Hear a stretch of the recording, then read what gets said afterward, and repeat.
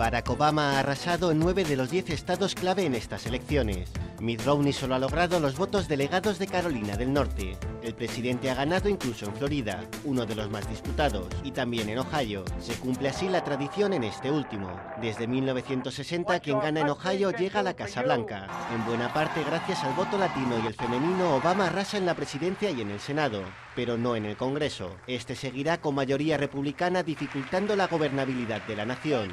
Obama ya ofrece consensos. Nos habéis elegido para que nos centremos en vuestros empleos, no en los nuestros. En las próximas semanas y meses voy a buscar un encuentro con los líderes de ambos partidos para afrontar los retos que solo podemos resolver juntos. Son retos como una ambiciosa reforma fiscal que comienza el 1 de enero con una subida automática de impuestos y el recorte del gasto público.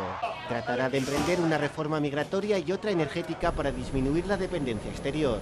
Lo hará sin las ataduras de estar pendiente de otras elecciones, ya que no se volverá a presentar después de una victoria celebrada en Londres, París y hasta Kenia.